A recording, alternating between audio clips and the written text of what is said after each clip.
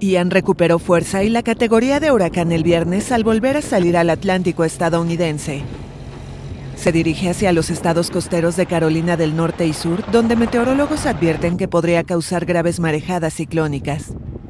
Convertido en uno de los huracanes más poderosos que ha sufrido Estados Unidos, obligó a socorrer a cientos de personas en Florida.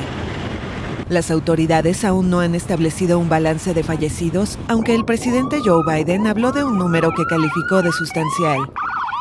En la localidad de Fort Myers, en Florida, donde Ian llegó como huracán de categoría 4, el aumento de las aguas sumergió algunos botes en el puerto y empujó a otros a las calles del centro. El gobernador Ron DeSantis calificó la destrucción causada en esa parte del estado como algo sin precedentes en 500 años.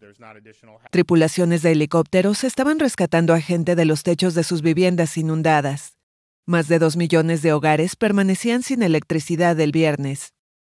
También se reportó la búsqueda de 18 personas desaparecidas el miércoles luego de que una embarcación de migrantes naufragara cerca del archipiélago de los Cayos. A medida que la superficie de los océanos se calienta, aumenta la frecuencia de los huracanes más intensos con vientos más fuertes y mayor precipitación.